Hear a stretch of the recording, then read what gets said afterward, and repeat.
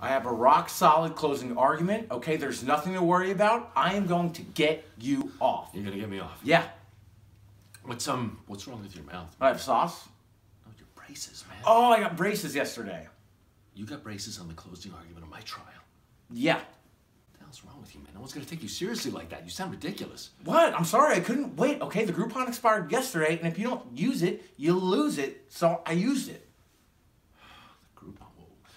What about a mistrial? Okay, I can put an a motion I for can, a mistrial. I can, I can get us a mistrial. Uh, just letting you know, I have to keep these on for five more years. Uh, I got really jacked up teeth.